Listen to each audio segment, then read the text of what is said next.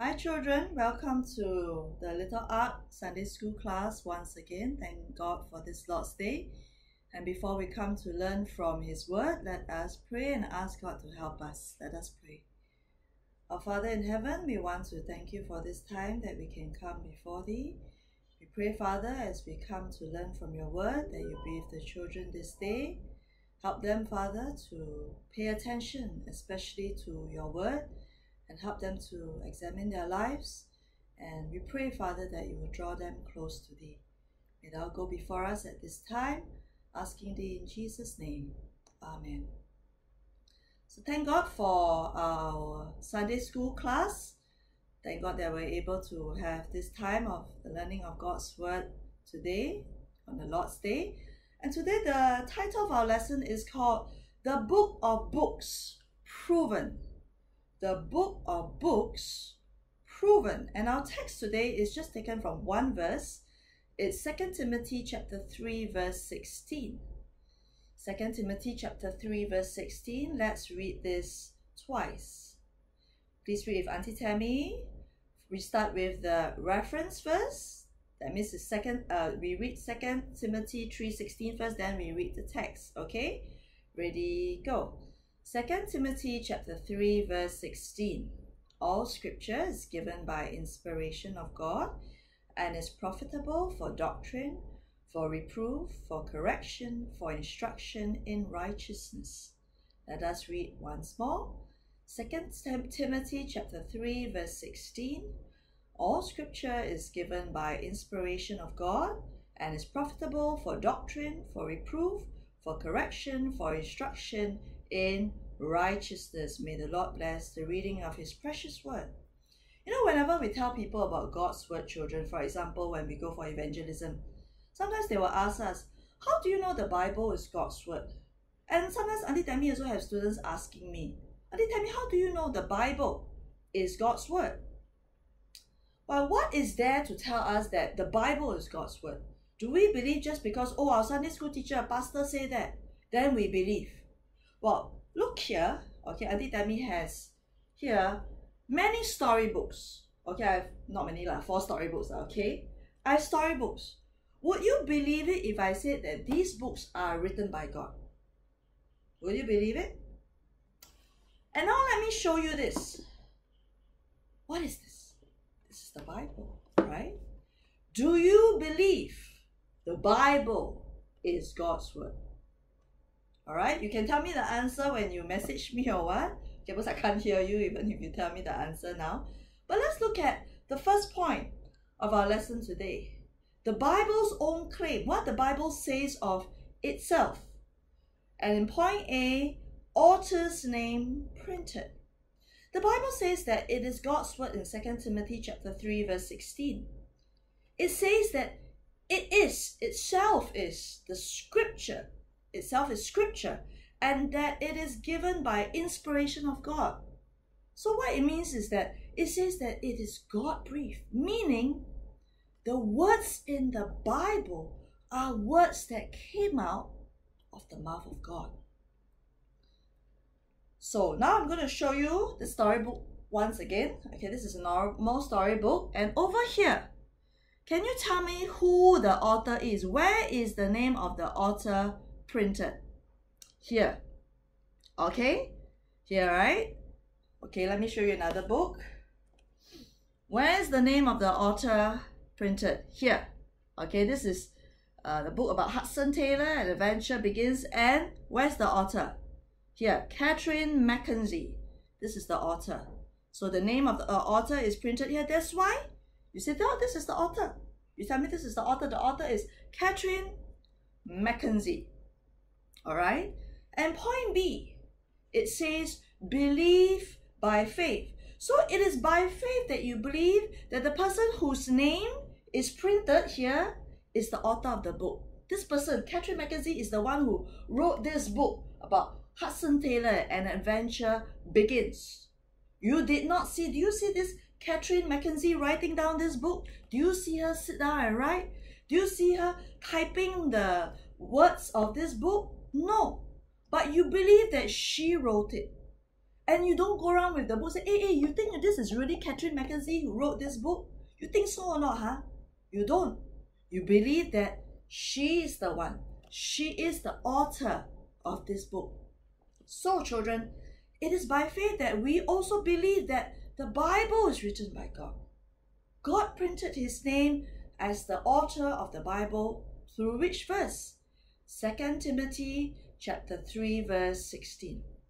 And by faith, the Holy Spirit will also work in a Christian, and the Christian will believe that the Bible is God's word. Point 2. The Bible cannot be destroyed. Point A or point 2 says, against the test of time. The Bible has been around for more than 3,000 years, children. Many years, right? Ever since Moses wrote down the first words. You know, most books last about maybe 20 years.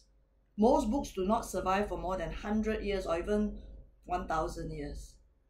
Although the Bible was first written so long ago, but do we have it today? Yes, we still have it today. And many still read it today. And we have it in large quantity. There's so many. And we have the Bible translated into more than 450. 450. We have the Bible translated into more than 450 languages. And God made sure that his people throughout all generations would have his word. Point B. Against the attack of Satan.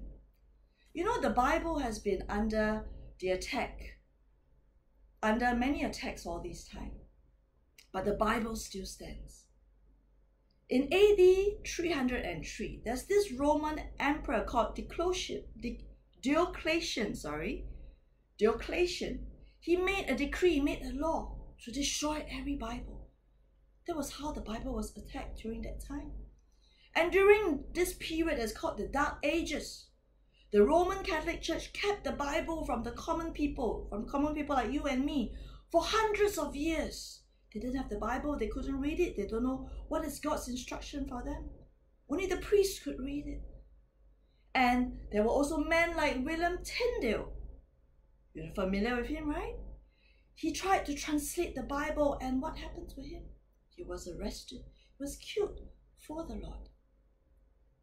So Satan too has tried to destroy the Bible all these time, but he has never succeeded. He has never managed to do so. And no matter how hard he tries and what he does, he would not succeed because the Bible still stands. It is God who has protected his word throughout all this time. And when we see how God has protected his word, children, it shows us that the Bible is important to God and if it's important to God, it must be important to us. We don't just take out our Bible only during Sundays today, or during prayer meeting, or when your parents ask you to, Sunday school teachers ask you to know. God's word must be very important to us. And God has promised to preserve His word, to keep His word for us till this day. And we see that in Isaiah chapter 40, verse 8.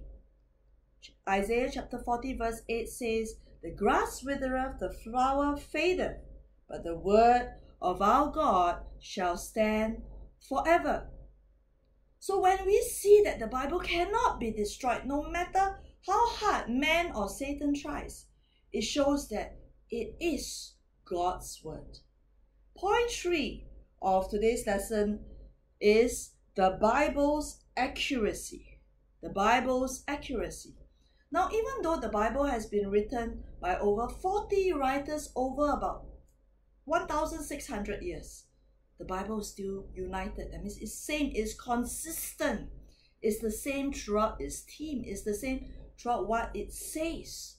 They still write about the same person. Why? Because God is able to make His word, this is His word, united, consistent. Even though it is written by many different writers. This is impossible with men, right? Two, three people already got different thoughts. When you ask them to write something, it's all different. But God is able to make this happen by His power. The first point consistent. The Bible is accurate because it's consistent. All right? We see how the and in point two, okay, so that was the first point. And point two, we see how the prophecies have come to pass. We see how the prophecies in the Bible have come to pass in the New Testament. For example, in Micah chapter 5, verse 2, prophesied that Christ would be born in Bethlehem. And this was done in Luke chapter 2, all right, a few hundred years later. You know, it is impossible for man to predict, to tell the future, and to be so accurate. Man is only able to roughly tell what will happen in the future. But no one can be as accurate like the Bible. No one can be as accurate like God. The one who knows the future perfectly is only God. And thirdly, we see how the Bible is accurate in science. Although the Bible is a spiritual book, it speaks of God, the knowledge of God. It is also accurate when it comes to science. Example, when the earth is spherical in shape, you see that in Isaiah chapter 40, verse 22, or the earth is suspended in space, or in Job 26, verse 7. No one knew of these things at that time. Science and technology has not advanced yet. The biblical writers would not have known of such things. And this shows that knowledge comes from God. Next, the Bible is honest.